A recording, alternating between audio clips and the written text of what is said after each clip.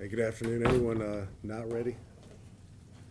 So as you all are aware, and our community is aware, the Baltimore Police Department adopted a body-worn camera program in 2016, and we now have well over 900 of our police officers in Baltimore who are outfitted with body-worn cameras. Our last three police-involved shootings, going back as far as uh, the day after Thanksgiving of 2016, have been captured on body-worn camera.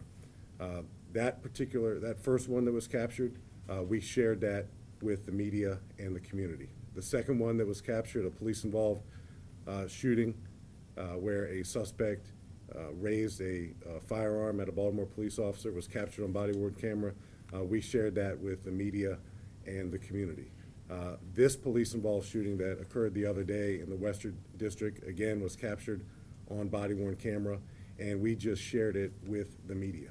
Uh, We made an intentional decision after a lot of, of thought that the uh, ramifications for the family, for the four-year-old and the one-year-old in particular, as they go through their childhood, their adolescence, and the rest of their lives, uh, we didn't want to create a uh, media uh, or a video footprint that they would be exposed to uh, intentionally, maybe, but unintentionally, probably, that would further traumatize them as, as they go on and live their lives. So, uh, did we share this body-worn camera footage today?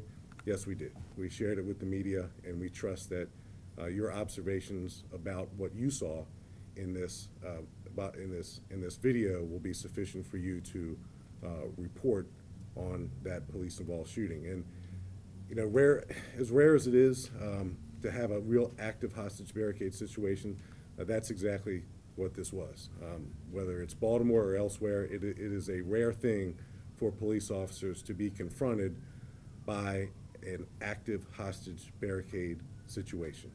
The Baltimore police officers, the sergeants, the SWAT officers, in my opinion, did a fantastic job. They saved the lives of a four-year-old and a one-year-old. Uh, They exhibited courage, bravery, and grace under pressure, under very, very challenging, difficult circumstances. So the, the job that the BPD did saved lives. It's not always easy to watch something like that. It's not easy to watch a grown man intentionally put a knife to a four-year-old and a one-year-old.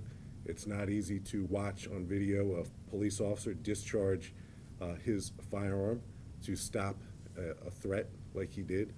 Uh, But we thought it was important for you all to see, and as, as much as we could share with you, the, the timeline of events. Uh, We had several body-worn cameras on the scene, and we wanted to uh, expose that video to you, and we did uh, just that. So um, I'm going to hand it over to Chief Smith to fill in the blanks of what I've forgotten to mention, and then we're more than willing to entertain any, any questions. All right, I'll um, start with a brief recap and uh, tell you this was a very tough last 72 hours of decision-making as we uh, viewed the body-worn camera footage and had to make decisions on how to release this as we uh, continue to talk about transparency. And we uh, thought the best way, as the commissioner mentioned, was to gather the press to see the video um, uh, uncensored, so to speak. Although we had to edit for the uh, sake of uh, brevity, the entire ordeal went on longer than about 45 minutes to an hour uh, of, of negotiations and attempts to release, the, get the children released unharmed and attempts to get the suspect in custody unharmed. Uh, this event started on Friday morning, March 24th at about 6:45 in the morning, where a 39-year-old male who is a relative of the family in that home on uh, Fulton Street uh, was allowed to stay over, and somehow or another he deci- he woke up and had some sort of problem going on.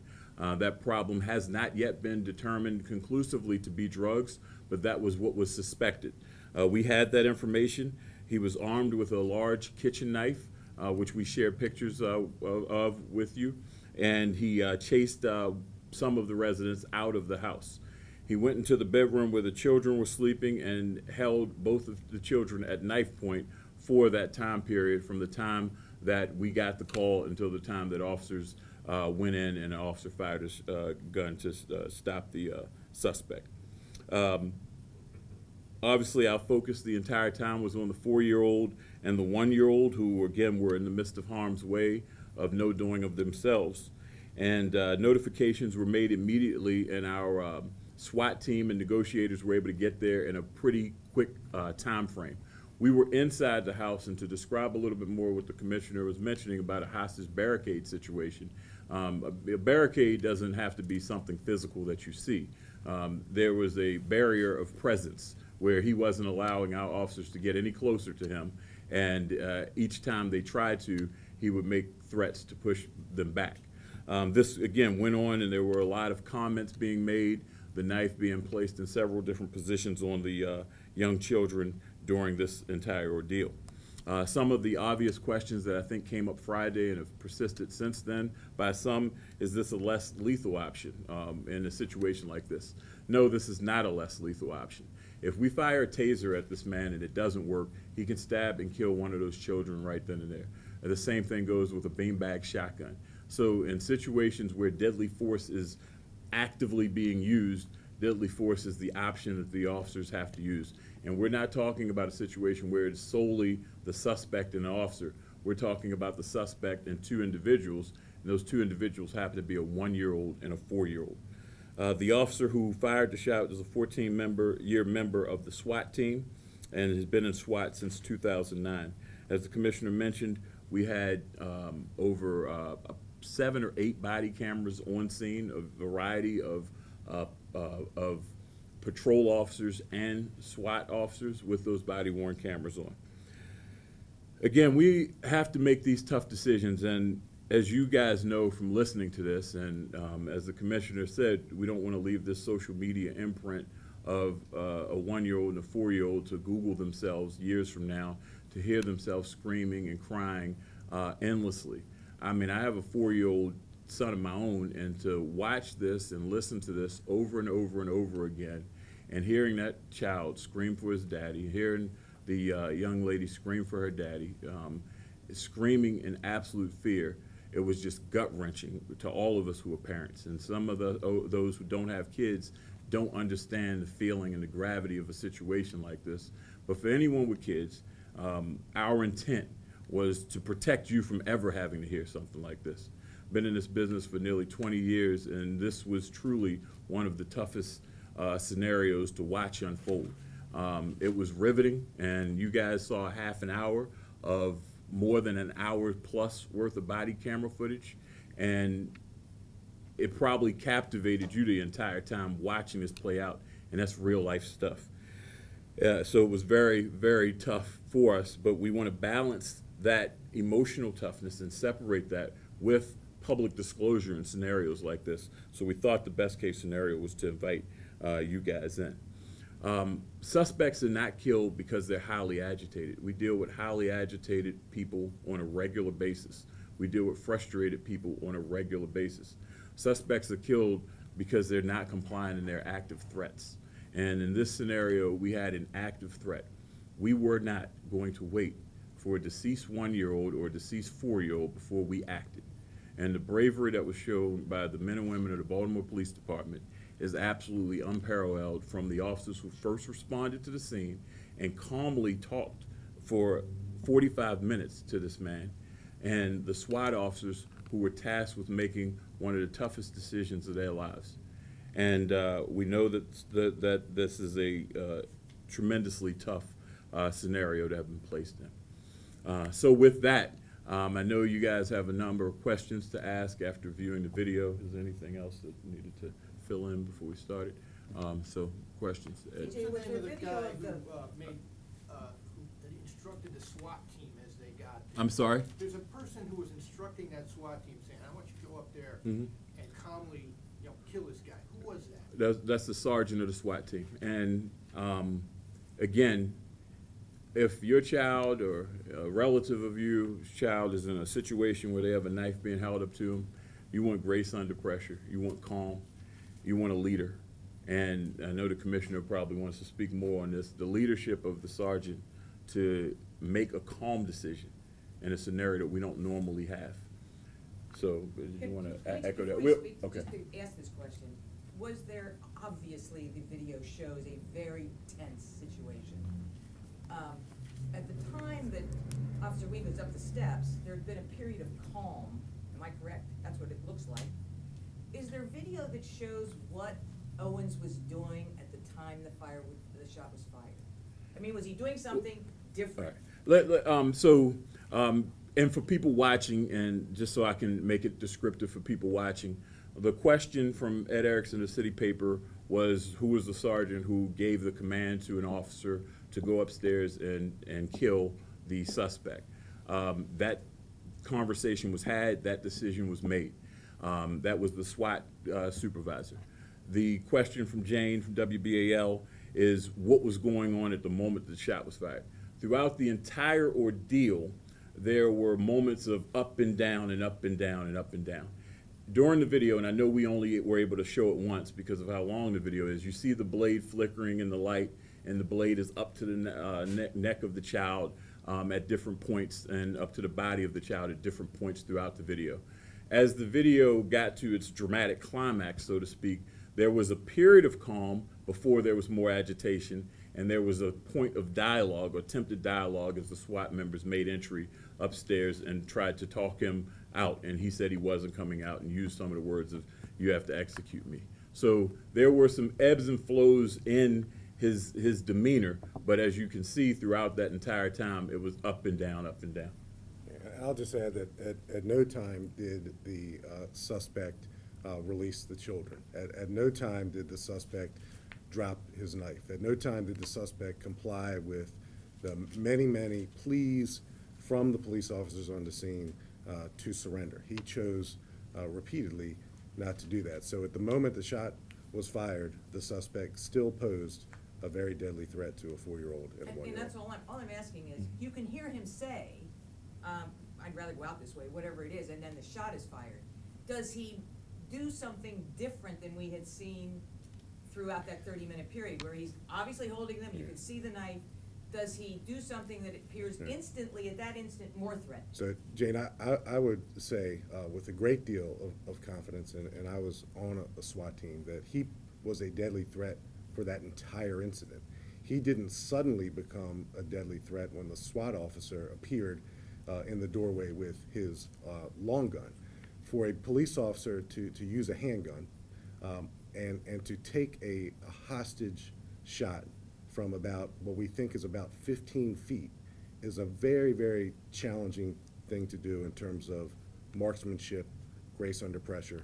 So when the SWAT officer got on the scene with his training, his experience, and, and the value of a, a long gun, a rifle, uh, that was a precision shot, it was intentional, and the direction that was given to the SWAT officer by his SWAT sergeant to take a life uh, is not uncommon in hostage barricade situations. Brian? Officer Ween, Officer Wine, Ween Wine, Wine. The pronunciation? Officer Wine. Wine. He too had a body camera on, correct? Mhm. Now, we didn't see that view. Does that offer you all a little bit more clarity on how the final seconds went down? No, um, the body, now, one thing to explain about body cameras, this is not a production. They're not any best boy grips or boom operators or anything like that when we are in these scenarios. These are in the moment scenarios. So he's up with his uh, uh, gun at the ready position, and some of that view is blocked. So it doesn't offer a perspective from that particular camera. But again, the body cameras are not simply about capturing in high definition every single thing that's going on with uh, perfect execution. It's about hearing things, and you probably heard more than you saw in this scenario. It's about the space and the distance. So you're able to capture things that you couldn't capture. If this incident occurred a year ago today, we would not be standing here right now having this discussion. So we're fortunate that we had as many body cameras on the scene uh, to get as many different perspectives of what occurred um, uh, at the scene. Yes, sir. Follow-up question.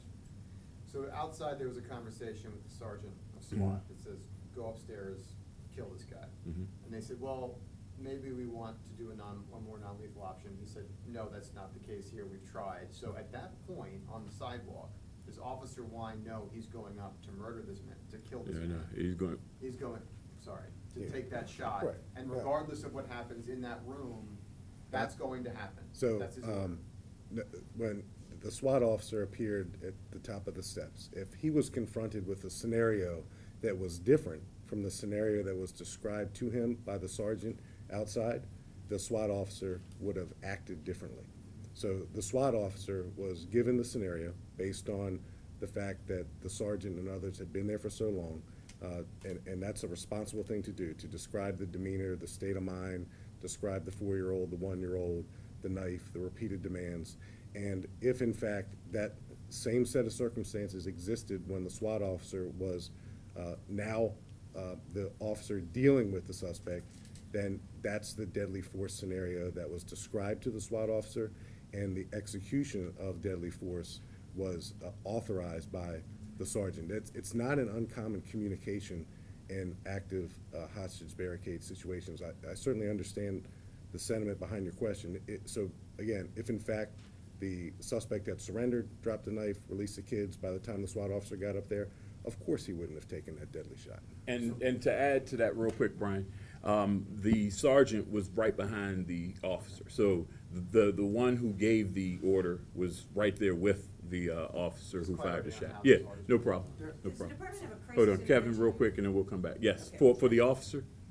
No, for the, at the, on Friday, you had a forty-five minute period where you were dealing with someone who was Are clearly. you talking about negotiations? Yes. Yes, So there are absolutely. mental health professionals on that, at that scene? Were they No, of that? no, um, no, no mental health professionals made it to that scene. We have the, we have the ability to get mental health professionals.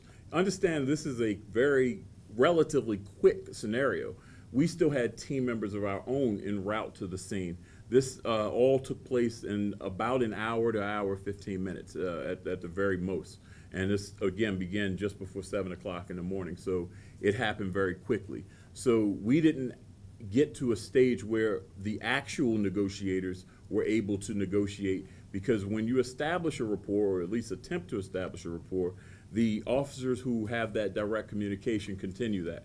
These were the patrol supervision and patrol officers who initially responded to the call, who were there for the vast majority of the time before SWAT was able to arrive and then take positions um, to observe what they had. So was there So- anyone on scene or called to the scene, even if they hadn't gotten there, that would be a mental health? The hostage negotiators were called to the scene. But they weren't there yet? No. And I'll just say that the fact that they weren't uh, there yet, Jayne, doesn't allow us or afford us the opportunity uh, to wait while that deadly threat uh, continued to be, to be posed. Um, You know, I, I wish there was a mental health professional in every police officer's car, just sitting right there next to the police officer, but um, that, that's, uh, that's not where we are. But um, they were on their way, and I think the police officers and the supervisors who negotiated with the suspect uh, did a, a pretty damn good job for a long, long time. And um, again, if the suspect had decided to cut the throats of these two children, the four-year-old and the one-year-old, um, the questions that would be posed to, uh, to me and to the police department would be, I assume, very critical about, you know, why we waited so long to save those lives. So tough, it's a tough, tough scenario, it really is. Kevin, you were asking a question? Yeah, I, I just wanted to be clear, it seemed to me that there was a sergeant on the scene who was the first individual giving instructions to the SWAT member. And then there appeared to be another individual also from SWAT, maybe a SWAT supervisor. Yes. He at one point says, after the instruction was made to kill Mr. Owens, Mhm. let's just make sure we're not forcing it if we don't have to. Right. Is that the SWAT That's- sergeant and the sergeant? The SWAT, the SWAT sergeant was the one talking to the SWAT lieutenant. Okay. And in SWAT scenarios, you have team leaders in a different le- level. Of course, that's still the lieutenant, the ranking person on the scene, uh, in charge of SWAT. And he's going over it again. Make sure we do our due diligence before we go back in there. Let's see if we can give him another opportunity to surrender. And, and it's, it's, it's worth noting, again, the situation was always a deadly force situation. It's a matter of getting the right equipment there. The handgun option is not the option in that type of situation. Understood, I'm just trying, to so it was the, the SWAT sergeant giving the initial instructions, his superior officer, the lieutenant saying, make sure that we, we've got it right. Right. But the lieutenant was in, in some degree deferring to the sergeant, because the sergeant had been on scene and understood. No, he, he wasn't countermanding that direction. He, he's thinking out loud, and I'd say what these body worn cameras do, and at least for me, is it gives me, um, a, a great deal of pride and satisfaction that those conversations are taking place. So you're inside the huddle, um, and, and you get to see the conversations and the thought processes of the, of the officers. Um, you know, remember, again, if the suspect, by the time the SWAT officer got to the top of the stairs, had surrendered, dropped the knife, released the kids, then it would have ended in an entirely different way. But, uh, but that, that, that, that conversation back and forth, I, I don't think that's uh, unusual at all. And I think that's part of this couple healthy professionals talking through a tough situation. There was Barry, some hold on convers- real quick, Barry. The, Mr. Owens also called out the name of the detective. I'm sorry, who? Miss- uh, uh, I'm sorry, the deceased also called out the name of, uh, uh, uh, detective. Okay. And he asked, uh, he, he called out the name, and I'm trying to see if, Sean Harrison, I think, um, trying to see if there's any indication as to why he did that, why he possibly wanted to talk to him.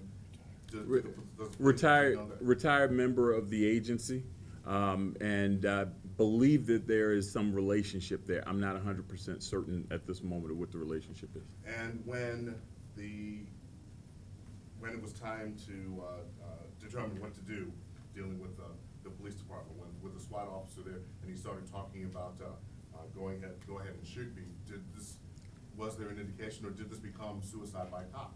Well, that's something, of course, that we think about, but at the same time, the children were still in harm's way, and that was our focus. I- I- I think, Barry, you, you can be suicidal and homicidal at the same time. A- And I think certainly throughout this ordeal, he was, he was both suicidal and, and homicidal. And um, again, it's, he, he posed a deadly threat the entire time.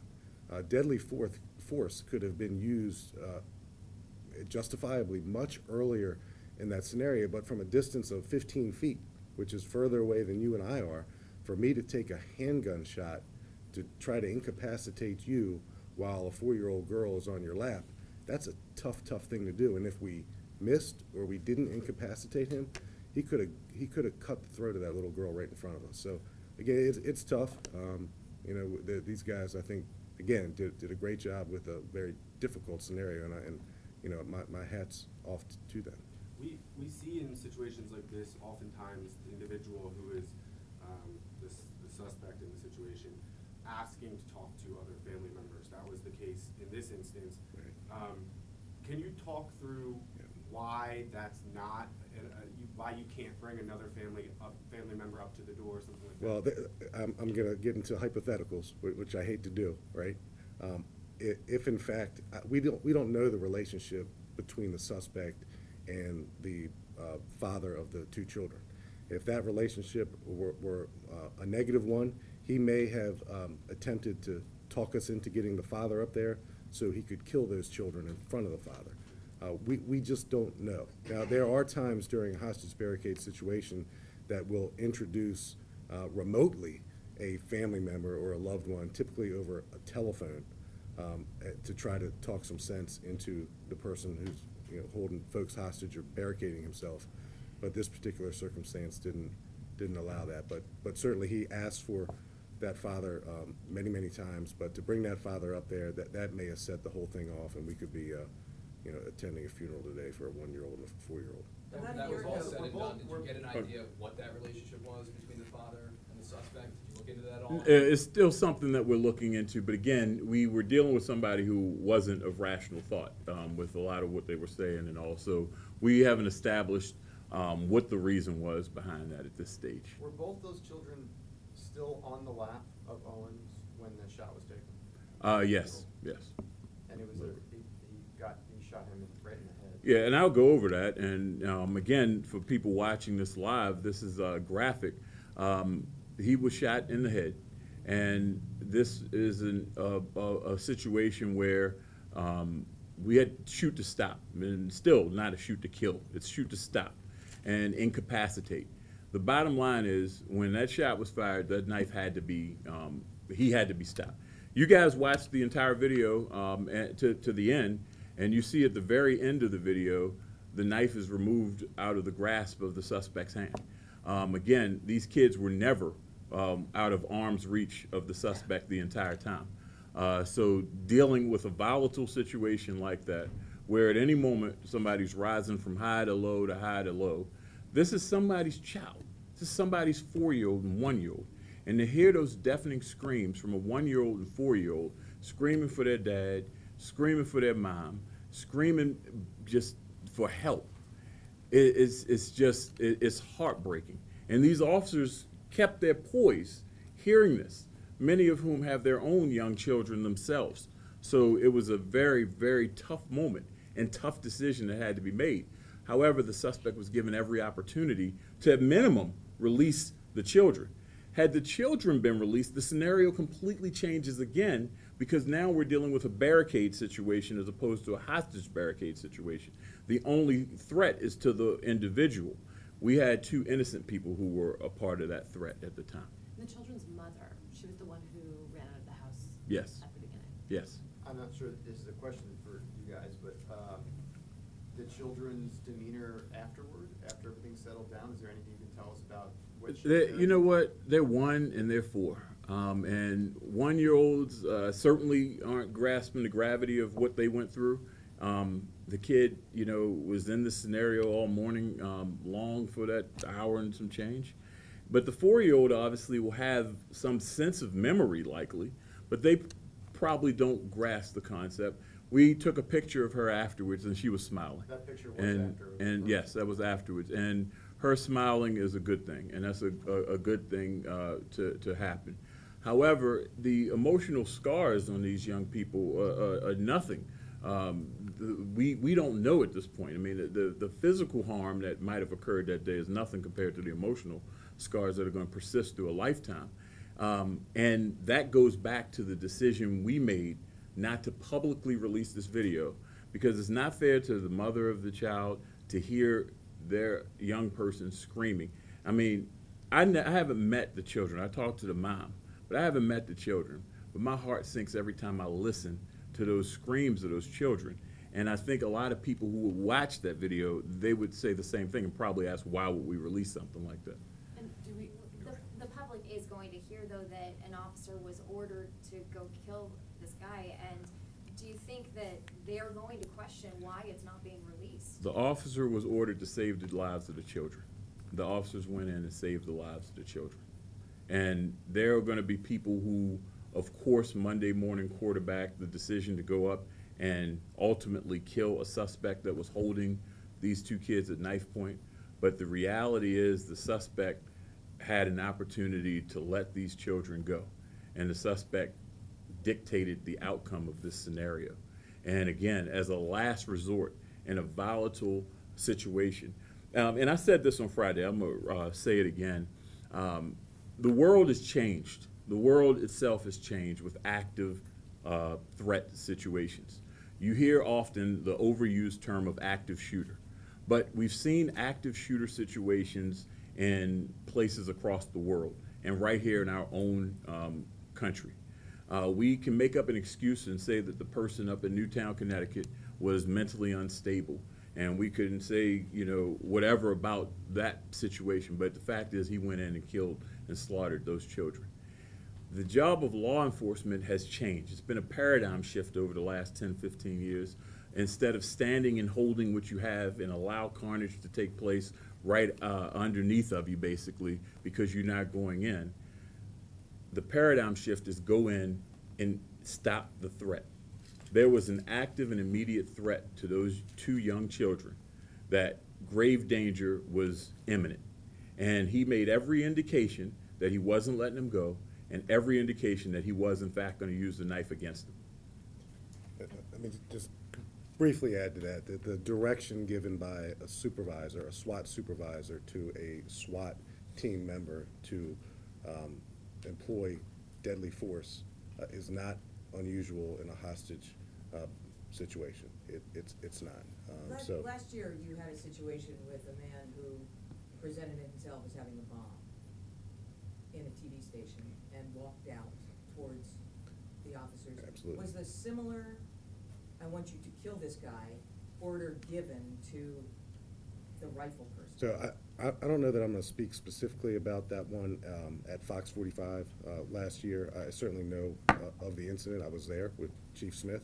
But in a SWAT scenario, it is commonplace for direction to use deadly force to be given.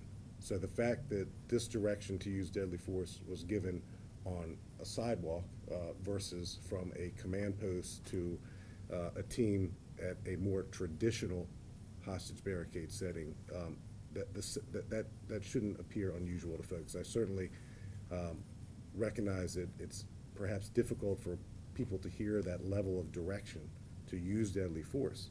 But again, you wouldn't be in a position to hear that if My- not for my- these body worn that's- don't cameras. That's not my question. My question is, obviously, there was a, they wanted to stop that threat. Sure. Was a similar order issued to the SWAT officer in the situation with the Fox forty-five suspect? so I'm not- Because he was not shot in the head. Right. And- So, I- I- and, and the fact that he wasn't shot in the head shouldn't um, confuse anyone. Um, There was direction given at that Fox forty-five um, scenario that was consistent with the direction given at this scenario. The fact that one was shot in the head and the other wasn't, uh, shouldn't, shouldn't necessarily be determined as unusual. And let, let me, just real quick with the Fox forty-five scenario. One individual who at that time we didn't know was strapped with candy bars. We found that out after the fact, so we're slow walking it in a sterile environment after the fact. So obviously, they make, they have plans in place if a suspect presents themselves and then becomes a bigger threat, a larger threat to the greater community. And that suspect presented himself and continued to walk out and walk across the street, ignoring demands in the Fox 45 scenario. In this scenario, as we talk about a headshot versus a body shot, he's holding two young people. The availability of options where to shoot were much more limited because you're in a scenario, and again, you have to shoot to incapacitate. Um, if my son was in that scenario, I want these officers showing up in my house. And for those of you who have kids, th- these are the officers that you want to show up if you're ever in this godforsaken position. So that was the option that was left to them. Um, but the other option that was there was for him to surrender the kids. And we would have stayed there longer, as we've done. We had a, hostage, a barricade situation, a hostage barricade, Burger King, last summer. Remember that? We sat there for hours on end. It was hot, sweltering hot. We sat out there 90 plus degrees for hours on end and safely got the release of every single hostage in that building and the suspect. We had a situation on Reisterstown Road where the suspect fired shots at officers. That suspect came out of that home. We were able to get him to surrender uh, peacefully. It was him as an individual. Again, each scenario changes when they're active threats and you, you, you have an active situation. So we've had different scenarios and they're all different depending on the scenario that you're presented with. So going back to last summer, Burger King hostage barricade situation inside the store. Um, not long after that was the Reisterstown Road barricade where a suspect fired shots at officers. Each in each of those scenarios, the suspects came out fine, and you know were held accountable for it. Going back real quick to transparency, though, I think people are going to question, because obviously, we've seen the video and we understand, but people are going to question why it's not being released. I, I welcome any questions that anyone has about the Baltimore Police Department's commitment to transparency. Um, are you kidding me? We're the most transparent agency around here, and we've demonstrated that again and again and again. And just to reiterate what Chief Smith said, we made an intentional decision to share this video in a different way. We haven't refused to release it. We haven't refused to show it. We've done it in a different way, and we decided to show it to a group of journalists, professionals, and allow you to describe it. And the alternative is unacceptable to me. I'm not going to make a decision that will further traumatize a family or a four-year-old and a one-year-old. So the critics that that exist, and there's always critics, they're typically on the, typically on the sidelines of life. It's a comfortable place to be, I realize that, but uh, I stand by this decision. The BPD is a transparent organization, one of the best in the country, and uh, we're committed to, to continuing that commitment to transparency. And understand, this is also a relative that was involved, so even though this person is deceased and was a threat to the family, this is also a relative to that family, so there's still a lot of emotions going on. Just so we're not the only ones describing this, I mean, we've heard TJ use a few adjectives on this video. What is your take, sir, your character, how would you characterize watching this video however many times you had to watch it. Well, to, to say it's a justified police-involved shooting during a hostage barricade situation doesn't do it justice. The, the bravery, uh, the pressure that these police officers and and supervisors were under uh, for a long time uh, is, is to be commended. Uh, These are the police officers who you want to show up when your family's in trouble. And I, again, um, these police officers did the right thing. They did it with courage, they did it with bravery. I've stood right here over the last couple of years and, and, and committed to you all in this community that I'm gonna call balls and strikes. And I've been critical of police actions, uh, and this isn't one of those cases. I, I commend this action. They did a great job, they saved lives. Rick- Rick, the did you have a question back? itself, Quick- though, real quick, What would Rick, you describe the video Hold- itself? Like, Hold on, yeah, hold on real quick, Brian. Rick? Just to confirm, one shot fired, correct? Yes, one shot for, Just characteristics of what you saw. Well, how- It's, we- the word chilling's been thrown around, the word, you know. You know, it's, it's disturbing to me to see children that, that are exposed to, to that, uh, level of, of violence, uh, so it disturbs me. Um, Chilling, certainly, uh, disturbing, absolutely. You know, what, what happened in that suspect's life that brought him to that moment where he could no longer control himself, his emotions, uh, his inhibitions, that he felt like he had to, to jeopardize two kids. Um, It angers me that he made that decision, and I think it angers this community. And um, the good guys, the good guys prevailed this time. Uh, Justified, justified, um, or not, it's not an easy thing to take a life. And I think you, you know, you, you you put officers on the street and risking their own lives is the ultimate ask, but asking someone to take a life is also a pretty big ask. Right. Um, can you talk about that officer specifically, how, how you, how you, because that was one of the striking things in the video. Sure. To me, that the, Yeah. the question just put to him. Yeah, a- and, and me too. So, uh, the first call I made was to that SWAT officer. He's a, uh, he's in this profession, and we're, we're all in this profession, but, um, he is trained as a SWAT officer. His, his level of training exceeds that of ninety-nine percent of police officers in America.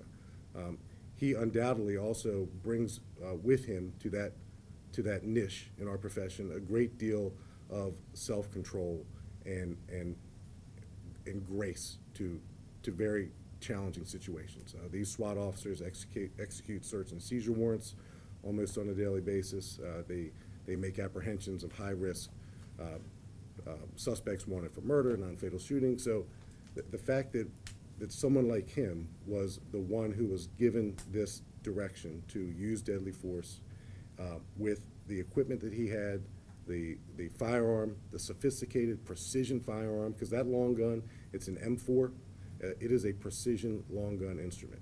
Um, and, and again, taking a shot from fifteen feet under pressure is not an easy thing to do, and to ask a police officer to do it with a handgun uh, is, is nearly uh, asking him to, to do the impossible. So um, the, the fact that a SWAT officer was there, a SWAT supervisor was there, brings a, a great deal of, of comfort to me that the right people were on the scene, considering all the ramifications of that deadly force decision. And, and I think, uh, and again, with the benefit of hindsight, and we're all comfortable in this room, and, you know, we're all Monday morning quarterbacking this thing, but with the benefit of hindsight, I, I- think he, he did a, he did a great job. Do you think, I'm sorry, the, you talked about trauma to the children. Has the city in any way, do you know, have offered, has it offered any type of services or Yeah, anything to so, this family? so the forensic interviews for the kids, the Baltimore Child Abuse Center does a great job. Adam Rosenberg leads that, he's the executive director, so those children have been afforded those services, and um, they're undoubtedly being afforded additional uh, services as well. Um, The family member will be afforded that type of help should, should they need it, and that they certainly probably do need it. And the police officers who are involved will be afforded that type of psychological counseling, trauma-informed care, because I think everyone on that scene probably, probably needs it. You mentioned that, um, this had already been, you know, a, a scenario that would have warranted, um, deadly force, and that was understood, but there wasn't the technology on scene to be able to, um, execute that command. When, do, can you s- talk about when that realization happened, that? Well, the, well, not the technology, more so the equipment. The equipment, I'm And, sorry. yeah, the equipment is, um, I mean, we recognized it immediately. Um, early on, you hear the, um, supervisor calling for the SWAT team, recognizing it as a hostage barricade situation. So they did an exemplary job of trying their best to control the situation, talk to the suspect, uh, not allow it to get more agitated than it was, not try their best not to allow any harm to be done to the children before the SWAT team arrived on scene. Which is to say, it was a, it was a lethal force situation From well the- before. From the- the- And, From the beginning. and I think, I think the part about this that is different for everyone is that most of the police-involved shootings that occur are spontaneous. They are an encounter. Um, if this situation just happened on the street, again, we're, we're dealing with a suspect who had innocent victims who happen to be children on top of that. So in a spontaneous, um, situation, where, where normally, uh, this, this would have still been a deadly force situation with a suspect on with a knife and threatening people. So, all right. All right, well, um, thank you. Yeah, yes, Jake? There was, you said there was multiple cameras that were edited in the video, so it wasn't just one body camera? But there were actually, the footage you saw were two body worn cameras. Um, again, the different body worn cameras are from different perspectives, whether it's a few steps back behind the officers. Um, the, uh, the sergeant had the body camera on, and you see behind the officer who fired his weapon, that officer had a body camera on, and there were officers on the steps again. So it's just different perspectives that don't really show any um, added value to the overall incident. Can you say which, when the SWAT sergeant got to the scene? That wasn't the same guy we saw in the earlier part where he was negotiating? No, no, no. Um, the first supervisor was a patrol supervisor, three stripes. And he's the guy who's talking to him all the time. Yeah, um, it was, it was between a patrol supervisor and a couple of officers who were on there. They had to relieve one another. Uh, what you see, again, to give officers a little bit, I mean, I'm sorry, to give, uh, everybody a little bit of a, um, what you see, he had a bunker, a, a- a shield Yeah. that he used, uh, that he went upstairs. We didn't know that all he, you know, if he had anything else. We knew he was armed with a knife, so they were using a shield. Um, so there were a patrol supervisor and at least two of his officers that were speaking to the suspect at various times before the uh, SWAT supervisor And that came. patrol supervisor, that person at the front with the shield, that's, that's whose camera we're seeing for that, most of that, first part of that video. Um, I don't, I don't, I don't, I don't know. I have to just look That's to see. voice we're hearing though, for a lot of that. No, that, that's the, um, it's, it's, it's a couple of voices. That's the- actually an officer's voice that you're hearing, um, Okay. through a good portion of it. So, all right. Thank you. Thank you, guys. Thank you All right.